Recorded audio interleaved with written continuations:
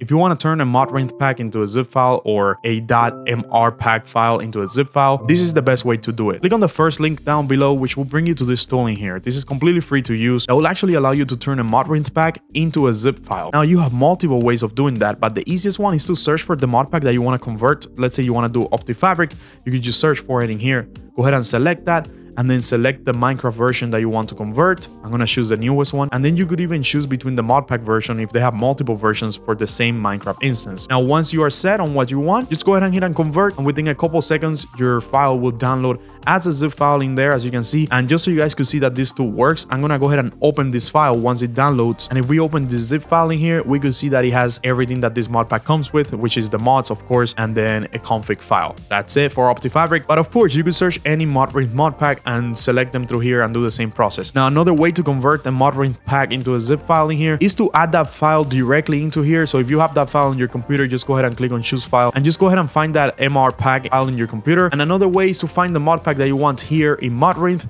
and once you select it, just head over to the versions, choose the one that you want, right click on the download button, select copy link address, come back into here and paste that address into here and then hit convert. And then you'll do the same thing, you'll convert that mod pack into a zip file. And once that zip file downloads, you'll see that it has everything that you need inside, everything, resource packs, anything that the mod pack comes with, you'll find in here just by using that tool in the first link in the description. Anyways, guys, I hope this tool is very useful for all of you. If this video helped you, don't forget to subscribe and I'll see you guys next time.